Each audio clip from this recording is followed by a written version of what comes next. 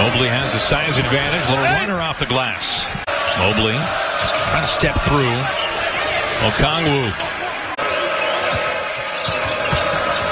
Good pass for Kocevic. Gets position, but Naz Carter blocks it.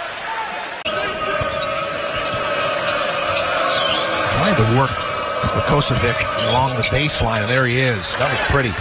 Kind of crept along the baseline like a cat on a fence. Far cry from the performance tonight.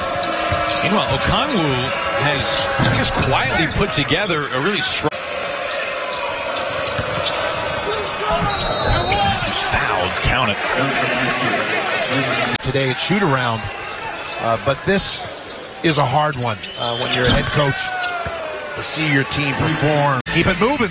Boy, another double double for Isaiah Stewart as the Huskies. Oh, very active.